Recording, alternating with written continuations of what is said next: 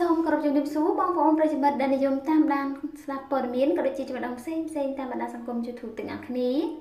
ថ្ងៃនេះ Channel យើងខ្ញុំបាននាំអារម្មណ៍ប្រិយមិត្តមកជួបជាមួយនឹងព័ត៌មានថ្មីថ្មី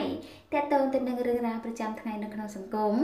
អត្ថបទព័ត៌មានរបស់យើងពេលនេះមានចំណងជើងថាផ្ទុះការសរសើរ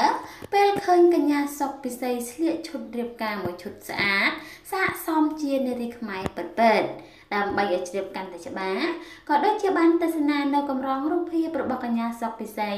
ក្នុងការស្លៀកពាក់សម្លៀកបំពាក់ខ្មែរក្នុងឈុតកូនក្រមុំនេះសូមប្រិយមិត្តតាមដានទាំងអស់គ្នាជាមួយនឹងអត្ថបទ Channel នេះខ្ញុំ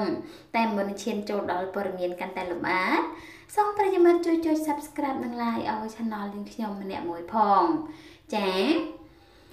តារាចម្រៀងកំពូលសម្រស់គឺកញ្ញាសុកពិសីបានធ្វើឲ្យអ្នកគាំទ្រក៏ដូចជាមហាជនជាច្រើន តែងតែសរសើរមិនដាច់ពីមាត់ជាមួយនឹងសម្រស់ក៏ដូចជាសមត្ថភាពដ៏ល្អ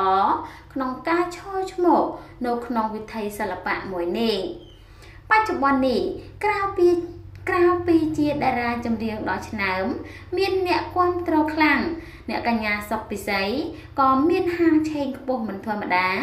នៅក្នុងការចេញថតសម្អាងការជាច្រើន ទាំងនេះហើយក៏ប្រោះតែរូបសម្រស់ដ៏ស្រស់ស្អាតផូរផង់មានមុនស្នេហ៍របស់តារាចម្រៀងសំឡេងស្រួយរូបនេះ ជាក់ស្ដែងកាលពីពេលថ្មីថ្មីនេះដែរតារាចម្រៀងកញ្ញាសុកពិសីបានលេចមុខថតសម្អាងការម្ដងទៀតតែអ្វីដែលគួរឲ្យសរសើរនោះគឺការចាប់អារម្មណ៍ខ្លាំងពីបណ្ដាអ្នកគាំទ្រក៏ដូចជា friend friend របស់កញ្ញាសុកពិសីដែលកញ្ញាសុកពិសីបានក្រងនៅឈុតកូនក្រមុំពណ៌មាសមួយនេះមើលទៅគឺពិតជាស្រស់ស្អាតដូចព្រះនាងដូចនេះឯង ចាដោយឡែកគ្រាន់តែឃើញបែបនេះភ្លាម មានបណ្ដាអ្នកគាំទ្រក៏ដូចជាមហាជនជាច្រើនអ្នកបានបញ្ចេញមតិសរសើរដល់តារាស្រីរូបនេះគ្រប់គ្រប់គ្នាថែមទាំងធ្វើឲ្យ friend friend មិនតិចអ្នកនោះទេ បានឆ្លក់វង្វេងនឹងសម្រស់របស់កញ្ញាសុកពិសី ដែលមើលទៅគួរឲ្យចាប់អារម្មណ៍យ៉ាងខ្លាំងពិតថាតែងជាសម័យ ឬក៏បុរាណនោះទេ គឺស្រស់ស្អាតជានិច្ចសម្រាប់កញ្ញាសុកពិសីស្រស់ស្អាតគ្រប់ស្ទាយគ្រប់ម៉ូដតែម្ដង មិនថាស្លៀកពាក់បែបសិចស៊ី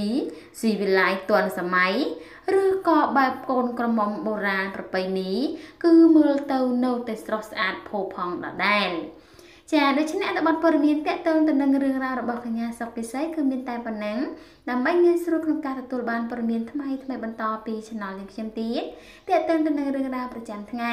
ក៏ដូចជាអត្ថបទចំណេះដឹងផ្សេងផ្សេងនោះសូមប្រិយមិត្តជួយចុច Subscribe និង Like សម្រាប់អត្ថបទព័ត៌មានមួយនេះ Channel នេះខ្ញុំសូមអរគុណនិងសូមគោរពលា